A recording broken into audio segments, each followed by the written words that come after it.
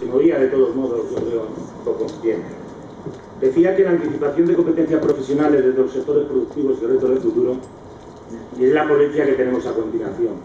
Pero haciendo una reflexión de inicio y muy cortita, creo que ya estamos eh, en un gran reto de presente sobre el tema de competencias profesionales. Y es cómo adecuar las competencias profesionales pues, a la norma, reforma laboral impuesta, donde en su artículo 20 establece el nuevo clasificación profesional. Esta clasificación profesional lo que establece es que haya, se reconozca a los trabajadores no por sus competencias o categorías profesionales, sino por grupos profesionales. Esta polivalencia les tendríamos que dar una competencia tan ilimitada a los trabajadores, una adecuación de formación tan ilimitada que eh, tendríamos que saber cómo efectivamente podremos realizar estas competencias en su general.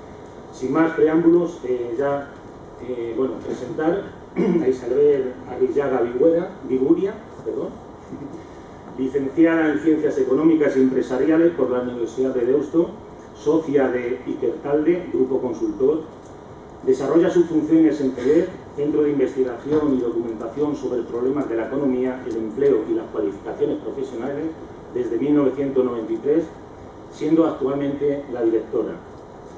Su trayectoria profesional se inició en el ámbito del seguimiento de las políticas de empleo y formación en Europa. Y Juan José de Andrés Gil, licenciado en Ciencias Económicas por la Universidad Complutense de Madrid desde 1972, ha desarrollado de forma ininterrumpida funciones de investigación, evaluación y consultoría para entidades públicas y privadas. Promotor de Federación de Conocimiento, grupo que engloba diversas entidades, entre las que se encuentra Intertalde, Grupo Consultor Infidel, de la que es presidente.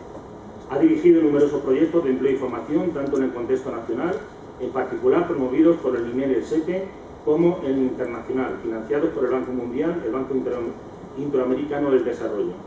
Desde 1993 es miembro de Interforoid, Centro Interamericano de Investigación y Documentación de Formación Profesional, Organización Internacional del Trabajo, y consultor de la Organización de Estados Iberoamericanos CEOI. Le damos la bienvenida y sin más preámbulo, por favor. Primer término, eh, en primer término, dar las gracias por la oportunidad que nos ofrecen. Eh, por supuesto, pues a la dirección de la Fundación Tripartita y del servicio del SPE, pero también a toda la comunidad de del subsistema de formación para el empleo, que está reunida aquí en un gran número, comunidad eh, que, la constituyen pues, las comisiones paritarias, los técnicos tanto del Servicio Público de Empleo como de la Fundación Tripartita, las, eh, las personas que están en empleo y formación en las comunidades autónomas, los consultores, evaluadores, proveedores, las entidades organizadoras, etcétera, por todo ello somos uno más eh, con ustedes, nos toca estar hoy aquí en la mesa, pero nuestras reflexiones procurarán acercar eh, temas eh, futuros, temas estratégicos, temas importantes a nuestra realidad e intentar gozar las alternativas más eficientes. muchos nos conocen, eh, hemos hecho muchas evaluaciones, estudios, informes para la Fundación Tripartita y saben que nuestro estilo de evaluación, de consultoría, de, reflexión es un estilo que procura buscar visiones compartidas con todos los participantes, eh, promotores, clientes, colaboradores y lo queremos hacer de un modo eh, permanente. tenemos una de las metodologías de evaluación que más nos gusta es la ongoing porque es itinere, que es eh, en todo momento. En todo momento queremos eh, que la reflexión que abramos aquí pueda tener un desarrollo y por supuesto desde aquí les garantizamos que estaremos encantados de poder seguir colaborando con ustedes a la búsqueda del mejor proyecto posible, de las mejores actuaciones en circunstancias tan difíciles, tan dolorosas, que se han tocado en la, en la primera ponencia y no voy a entrar porque creo que me han dado un recorte, otro de tantos, pero vamos a negociar, vamos a negociar porque realmente, claro, eh, teníamos 40 minutos y yo creo que tendremos que repartir entre la siguiente ponencia y mover un poquito el desayuno y hacer un poquito de dieta, quizás, porque yo creo que va a merecer la pena eh, que podamos entrar un poco a los temas finales. Y si no les gusta, pues les compramos otro bocadillo, otra cosa. Bueno, sin más, paso a la palabra a Isabel Arrillaga. Ella iniciará, eh, tenemos, tenemos, como ven, eh, la ponencia la hemos dividido en dos fases y ella, que está participando en una serie de redes, Skillnets en particular, eh, les, situará una serie de temas que creemos que vienen. Bien, pues eh, aprovechando, aprovechando esta oportunidad que, nos ha brindado la Fundación Tripartita, queríamos compartir con, con todos ustedes eh, un poco la visión que hemos ido obteniendo en estos años de trabajo y en particular centrándonos en lo que es el, tema de la anticipación de competencias. ¿no? Entonces, bueno, hemos hecho una, una, división un poco artificial y desde luego si en la ponencia anterior alguien ha, notado que faltaban cosas, que en esta van a notar que faltan muchas más porque hemos tenido que hacer un ejercicio de síntesis. Bueno, hemos eh, destacado los elementos que a nuestro juicio son más interesantes, pero seguro que hay otros que les pueden interesar y que intentaremos dar respuesta eh, posteriormente. Bien, en primer lugar, queremos hacer un muy breve repaso sobre cómo se vive la anticipación de competencias en Europa, qué pasos se están dando en esta, en esta línea. Y para ello, más que utilizar, digamos, desarrollos metodológicos, porque si, si entramos en ese tema eh, necesitaría muchísimo más tiempo, vamos a utilizar un poco algunos ejemplos ilustrativos sobre la, anticipación de competencias en Europa y luego vamos a entrar un poco en los retos de futuro en España, con la visión sectorial, etc. Bien, eh, una de las primeras, de las mm, primeras cosas necesarias cuando hablamos de anticipación de competencias es eh, ver qué es lo que estamos hablando, de qué se habla cuando se habla de anticipación y de competencias. ¿no? Parece una cosa de perogrullo, pero la verdad es que cuando, cuando uno entra en, esta, en este mundo un poco de la investigación sobre la anticipación de competencias, se encuentra que bajo este término se engloban cosas eh, distintas, desde luego, de lo que podemos entender quienes venimos trabajando un poco en el, ámbito de las competencias. ¿Qué, eh, ¿Qué, nos solemos encontrar cuando, cuando realizamos análisis de este tipo? Pues una primera que, se ha mencionado también anteriormente, el nivel de cualificación. Y esto se suele utilizar normalmente eh, en los niveles europeos del ISTE y se suelen realizar agrupaciones. ¿no? Lo hemos visto anteriormente, son agrupaciones muy útiles de nivel bajo, medio o alto, con los niveles 1, 2, 3, 4 y 5 y 6, que bueno, también tiene su complejidad en algunos casos en hacer los ajustes en los diferentes países, pero bueno, digamos que un nivel de cualificación, o sea, saber qué nivel de cualificación, no la mayoría de nosotros, de los que estamos un poco metidos en el tema, no entenderíamos que es eh, anticipación de competencias. Eh, otra cuestión que se suele utilizar como anticipación de competencias son eh, el definir qué, qué, proyecciones se hacen para las ocupaciones. aquí nosotros lo que hemos ido analizando y lo que hemos visto son normalmente el máximo al que se llega cuando son investigaciones, digamos, macro, son de dos dígitos de, de eh, clasificación internacional de, ocupaciones. Luego tenemos también otros, otro tipo de, estudios o de investigaciones que entran en lo que sí podríamos entender más por competencias. ¿no? Eh, son escasas las que se refieren a perfiles profesionales o, ocupaciones, como las tenemos definidas en el, en el, sistema español y en el sistema europeo, pero sí hay bastantes que, al hilo sobre todo de eh, análisis sectoriales, entran en competencias, pero eh, normalmente suelen definirse las competencias con un mayor grado de concreción en lo que pueden ser las competencias básicas o las competencias clave, pero las técnicas, eh, normalmente las específicas de las diferentes ocupaciones o sectores, suelen tender a agruparse. ¿no? Bueno, esto es una, breve pincelada de lo que podemos encontrar cuando, cuando hablamos de anticipación de competencias. Y otra cuestión también muy importante es el tema de la dimensión temporal. Eh, las proyecciones más habituales suelen ser de 2 a 5 años, qué es lo que va a pasar en un sector, en, una economía eh, en 2 a 5 años, esas normalmente van sobre todo ligadas a las eh, prospecciones a las empresas, se entiende que normalmente cuando se eh, pregunta a las empresas un horizonte superior a dos años suele ser difícil de gestionar para, las empresas.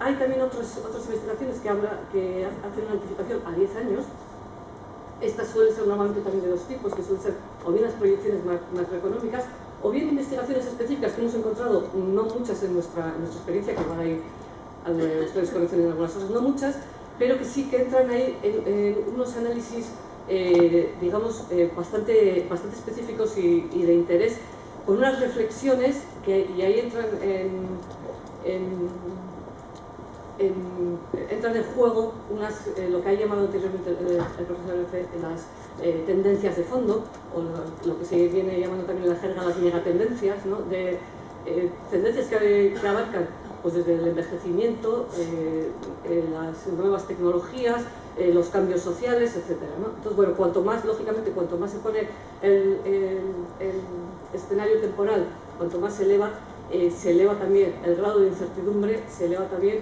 la necesidad de hacer unas, eh, digamos, reflexiones que abarquen muchos más, muchos más intereses y muchos más agentes para poder, para poder realizar estas proyecciones. Y luego tendríamos también, que lo hemos, llamado aquí también, eh, la anticipación entendida como evolución. en muchos de los estudios que se realizan sobre la anticipación lo que se está haciendo es ir, detectando cómo van evolucionando las competencias o los sectores. Y sobre esto se articula, digamos, en algunos casos, cuando lo que se detecta es lo que están haciendo empresas innovadoras, o lo que se hace es proyectar un poco en qué plazo se prevé que el grueso, digamos, en su caso, que vaya a hacer el grueso del sector, vaya a aceptar estas, adaptar estas competencias en su, en su organización. Bien, eh, esto un poco sería para situar un poco de qué estamos hablando cuando hablamos de la, de anticipación de competencias. Y eh, básicamente también de forma simplificada, lógicamente hemos agrupado en dos tipos de, enfoques metodológicos cuando se abordan estas anticipaciones de competencias. Y uno son los modelos cuantitativos y otros serían los modelos cualitativos. Eh, lógicamente no, son, no suelen ser normalmente estancos, suelen apoyarse unos en otros, pero sí que tienen, digamos, eh, mayoritariamente se centran en unos aspectos o en otros. Dentro de los modelos de proyección cuantitativa, hemos diferenciado un poco dos, dos, tipos básicos de modelos. Los complejos, que se basan en modelos econométricos, y por ejemplo, que, del que luego presentaremos algunas cuestiones como el que ha realizado el CDFOP, que probablemente todos, todos ustedes conozcan, eh, se basan en modelos econométricos y son complejos. Y hay otros más simples, que muchas veces utilizan observatorios regionales, etcétera, que nosotros también hemos desarrollado en alguna, en alguna eh, ocasión, que se basan en proyecciones de series históricas. Eh, a nosotros, desde los propios digamos, elaboradores en, en CDFOP, eh, lo que nos han venido a, decir es que eh, cuando para, modelos regionales o para modelos sectoriales menores, etcétera, eh, se puede basar en los modelos mm, econométricos ya desarrollados y en muchas ocasiones basta con un modelo de proyección más simple, siempre que se contraste posteriormente con expertos o se, se vea un poco la evolución. Bien, las limitaciones un poco de estos, de estos modelos cuantitativos serían, bueno, uno, básico que es la solidez de las, de bases de datos de las que se parten, porque muchos eh, se, base sobre, se parte sobre esas bases. Por ejemplo, el que, el que ha realizado el CDFOP eh, utiliza series históricas en algunos, en algunos casos de, 1973, me parece que es la, primera. Pues bueno, eh, lógicamente, cuando estamos hablando de ocupaciones, de sectores, se han producido, eh, todos somos conscientes de que se han producido cambios importantes en la denominación, en lo que agrupan, y entonces se producen disrupciones que hacen que sea todo bastante difícil realizar esos ajustes. ¿no? Pero al margen de eso hay una limitación que se les suele achacar bastante a estos modelos econométricos que se basan en las proyecciones del pasado, que es cómo identificar lo nuevo ¿no? a partir de lo que ya hemos venido realizando anteriormente. ¿no? Y entonces es ahí donde eh, entran otros, modelos de, de, identificación en las empresas, ¿no? en, en el tejido empresarial. Las ventajas lógicas bueno, de, un modelo cuantitativo es que permite obtener unas cifras, unos datos que pueden ayudar a ajustar la oferta formativa educativa eh, y a tomar decisiones sobre, sobre esta base. ¿no? En cuanto a los modelos cualitativos, normalmente se basan, bueno, hay también eh, muy dispares, hay, hay, múltiples, hay algunos que son digamos, eh, permanentes en el tiempo, otros que son coyunturales, eh, pero se suele basar en, las opiniones de, los expertos, de los expertos de los sectores, de los expertos del ámbito de la formación, de los expertos del ámbito del empleo, y a través de diversas herramientas, panel, grupos, Delphi, etc. Eh, las principales dificultades a las que se suelen enfrentar estos, estos modelos es la de implicar a los agentes claves a lo largo del tiempo. Yo creo que de esto ha habido varios intentos de, las diferentes administraciones y creo que, que se han encontrado con este con este problema, el, mantener, sobre todo cuando son eh, agentes del tejido productivo, el que mantengan su, permanencia eh, aportando, porque para ellos supone lógicamente un, coste de, tiempo y esfuerzo. Y hay también, eh, antes se mencionaba, el tema de las grandes y las pequeñas empresas, de la visión estratégica que tienen las grandes empresas eh, ¿hay alguna información de este tipo, de, hacia dónde va, cuando hablamos del futuro, que es eh, información sensible para, para, las empresas que lo, que lo tienen? Entonces, es, eh, hay, dificultades en que las puedan transferir, digamos, al, resto de los, de los agentes.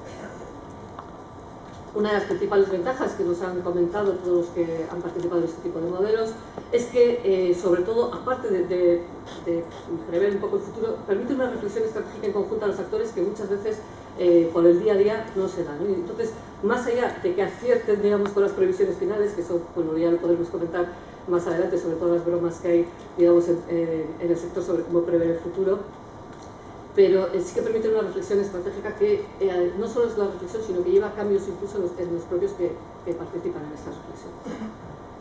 Bien, y luego, como decía, la tendencia pues, es a, mezclar, a mezclar los dos y a poder utilizar lo mejor, intentar sacar lo mejor de, los dos tipos de modelos. Como estos son, son modelos complejos, decía que íbamos a intentar ilustrarlos. este es un ejemplo de los resultados que se obtienen en la aplicación de estos modelos. Este lo, conocerán de sobra porque además es, un, es una información que ha, tenido, eh, ha sido objeto de bastante debate y de muchas reflexiones. Eh, lo que les comentaba del nivel de cualificación, cómo están cambiando los niveles de cualificación. Este es para, para toda la Unión Europea y establece que para el, 2020 en torno al 50% de, los empleos serán de nivel medio, ¿no? de lo que llamamos normalmente pues, del, tipo de la formación profesional, los niveles 3-4, que es, digamos, eh, uno de los grandes fallos, de las grandes diferencias que presenta, desde luego, el, panorama español respecto al conjunto de Europa.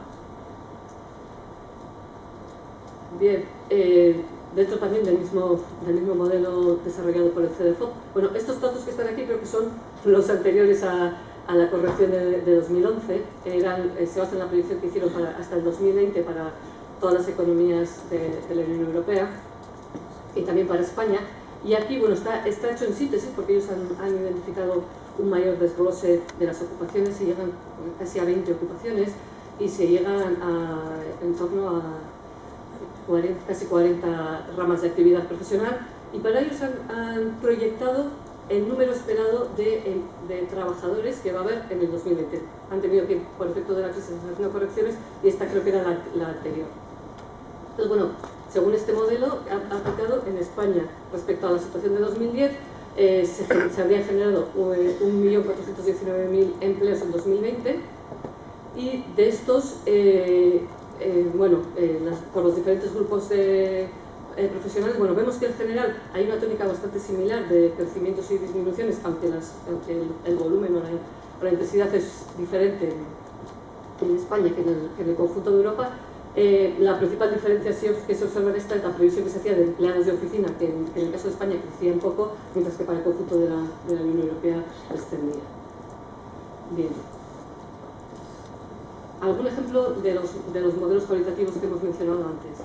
Este es un modelo diseñado por el Institute for Employment Research de Warwick, que son los que están también implicados en el, en el desarrollo de las predicciones eh, del CDFOP y eh, estos habían identificado 100 tendencias, 31 de ellas exógenas, 14 y el resto podríamos decir ya que son más del mercado laboral, tanto de demanda como de oferta o de los resultados outputs del sistema educativo, ¿no? de, pues de población eh, con los diferentes niveles que va saliendo, etc.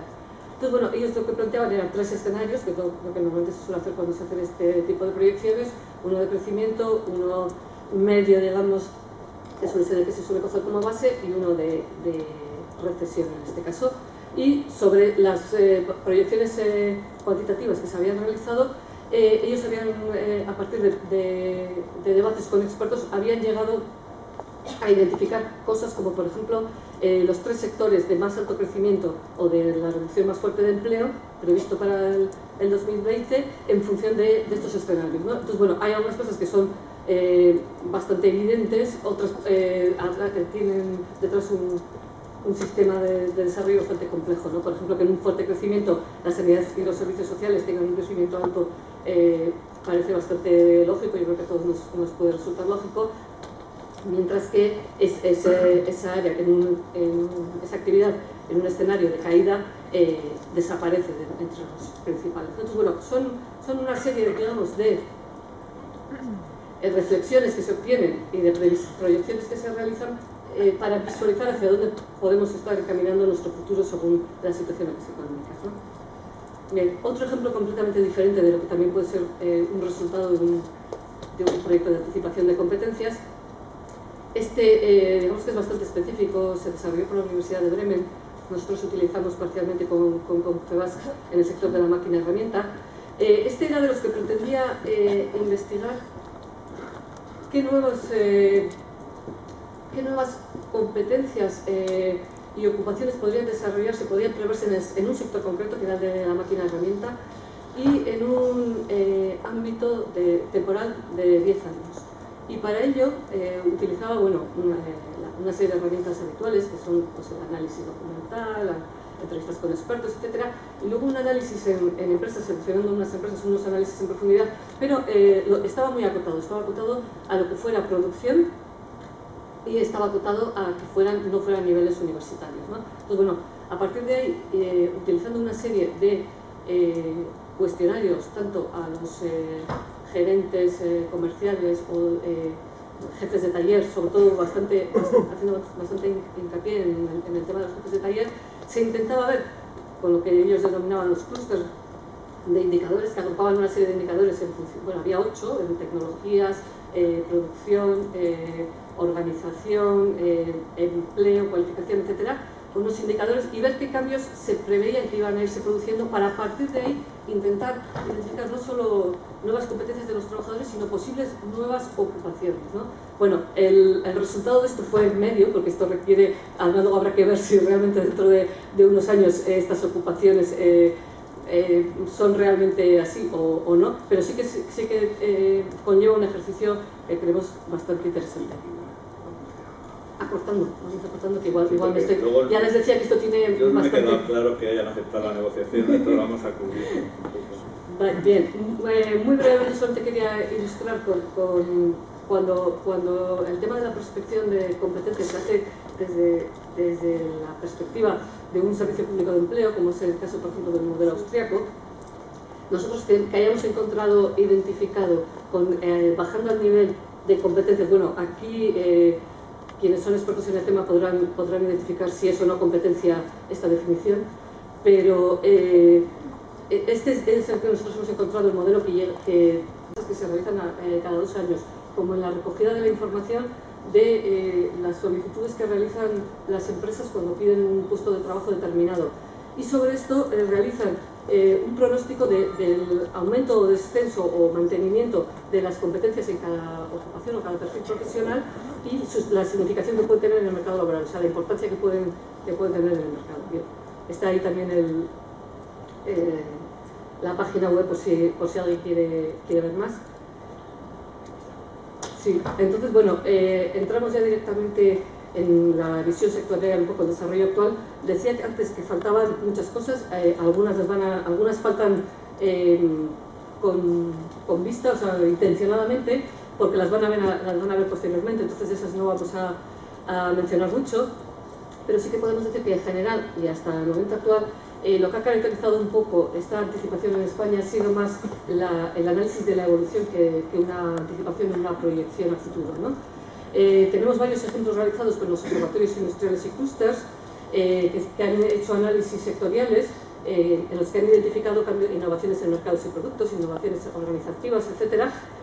Y tenemos también algunas investigaciones específicas ligadas a planes estratégicos a nivel sectorial. bueno, luego también tenemos lógicamente la Fundación Tripartita, que eso les comentarán eh, ellos y en el Observatorio de DSP la, última, digamos, más reciente a nivel sectorial que ha sido el sector de automoción y que se basa tanto en registros de evolución como en la prospección de, de, expertos. Y bueno, acortándolo, si luego hay más preguntas ya eh, podríamos avanzar, pero... No, sé si nos darán preguntas porque nos han dejado hasta el cuarto vale. y procuraremos, pero luego... ¿Cuarto finalización? Sí, sí, pues, luego después del, del break pues ya seguiremos. Bueno, vamos a seleccionar un poco eh, las consideraciones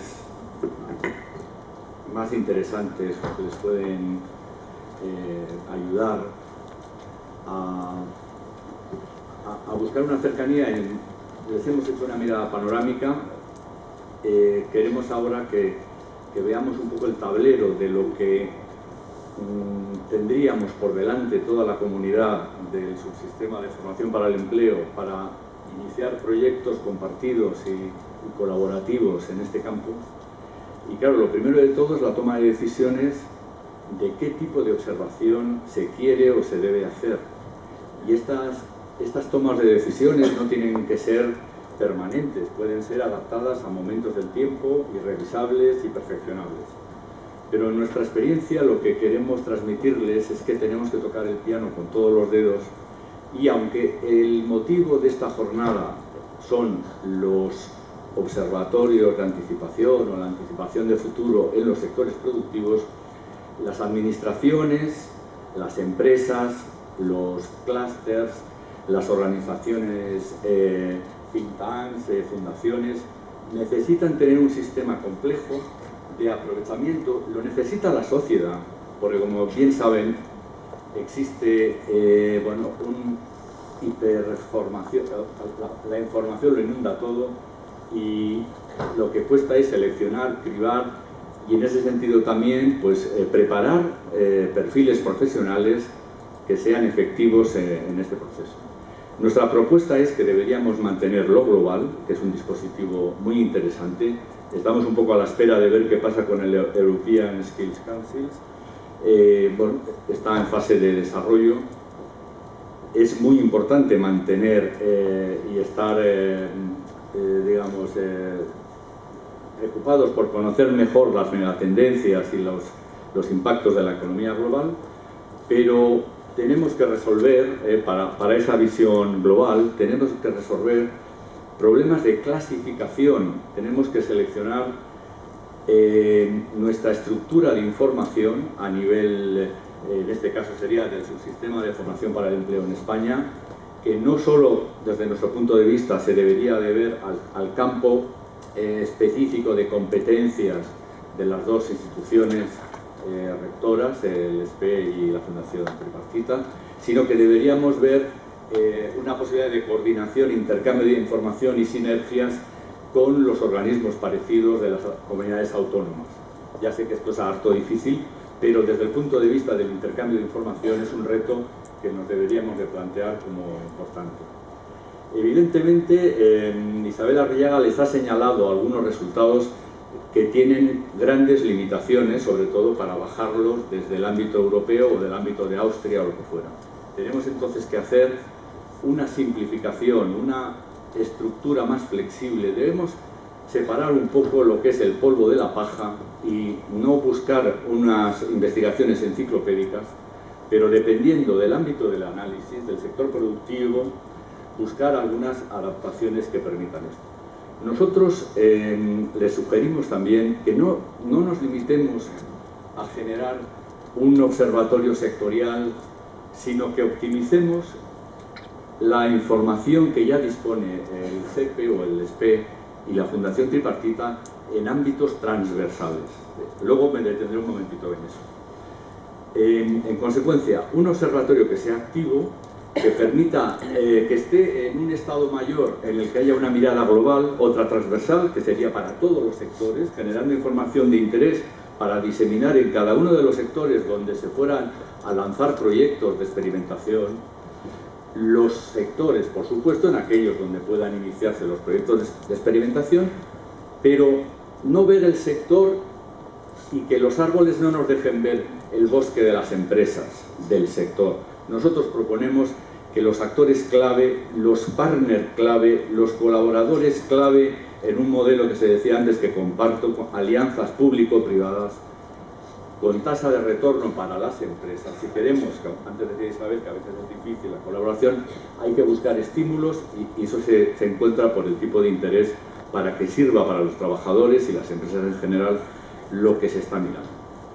Bien, entonces queremos decir que no, vamos, no propondríamos a la comunidad del subsistema de formación para el empleo una mirada panorámica y diseminar informaciones en web o en boletines o tal, sino que se implicara en coger eh, ecosistemas o tejidos que les permitiera, hay esto y queremos ayudar a observar, por supuesto, pero ayudar a construir elementos que todavía estamos en stand-by, es decir, creación de conocimiento en las empresas, transferencia de conocimiento en las empresas, aprendizaje colaborativo, evaluación de competencias en las empresas. Se ha hablado antes en la gestión de edad. Nosotros en el, participamos, Isabel y yo, en el grupo de empleo de Innovasque, de la Agencia Vasca de Innovación, teníamos expuesto en el currículum, pero la verdad sido por tiempo, más, más que que nos, dedica, nos estamos dedicando mucho tiempo en esto. Y eh, em, y en ello estamos estudiando el interés de que, de que haya un dispositivo de evaluación de competencias a lo largo de la carrera de las personas, particularmente para ayudar a la eficiencia de los trabajadores de más edad que compartimos, que son, eh, desde el punto de vista de la innovación social y tal, son absoluta, somos absolutamente necesarios para, para, para muchas cosas. Y entonces se trata de hacer un poco eh, me parece muy bien hacer sabáticas o, jornadas un poco, o hacer un coaching, o hacer las cosas que nos gusten o les gusten hacer más, a lo que puedan estar mejor capacitados, pero eh, que tengamos esa perspectiva y lo asociemos a sus competencias, no a los años o a las canas o a las presiones de ciertas personas. El tema es más complejo, pero yo creo que somos la sociedad del conocimiento, deberíamos construirla y los griegos ya nos enseñaron muchas cosas en ese sentido hace muchos años. Bueno, eh, cinco minutos, seis minutos de mi reloj, ¿eh? Yo también. No, no tengo,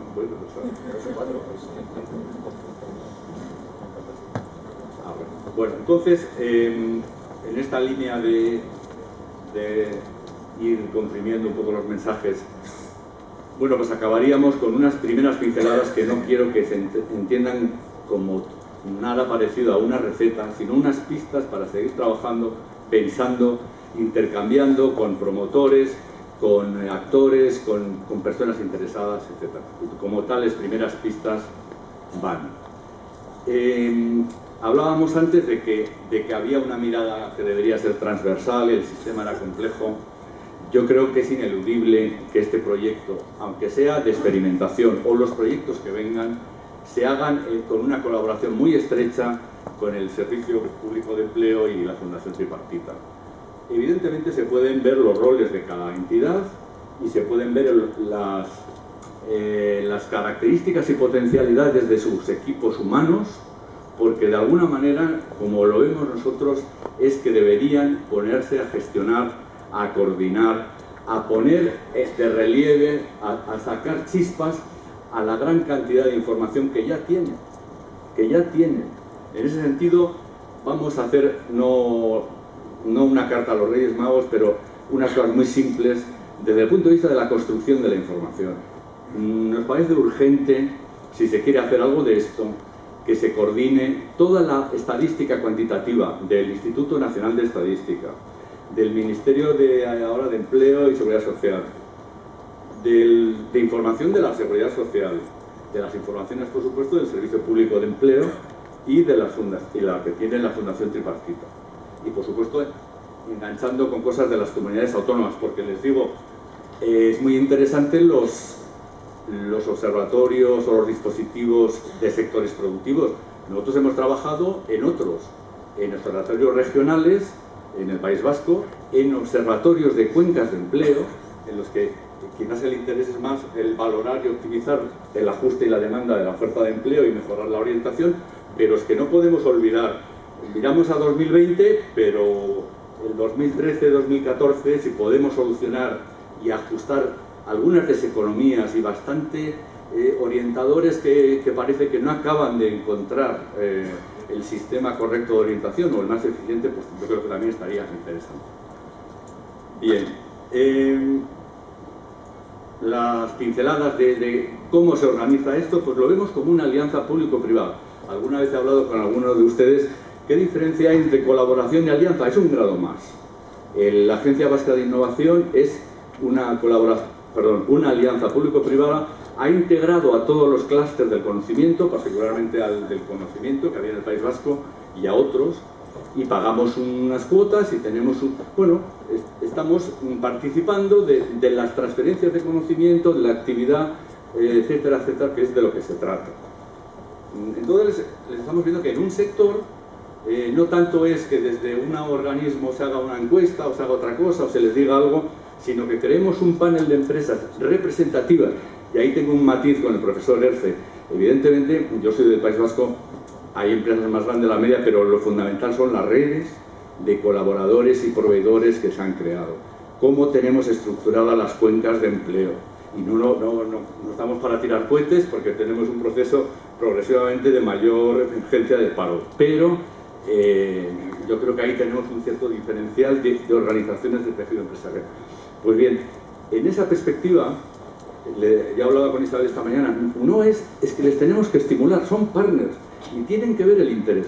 ¿Qué les tenemos que dar? Bueno, información muy buena, pero ayudarles a que eso que dicen que pasa en Alemania, como usted, no solo el de mil empleos, que ese igual ya lo tiene solucionado, un panel de nuestro tejido empresarial en representativo de cada sector, y entonces a ese hay que ayudarle a instalar dispositivos o facilitarle. ¿eh?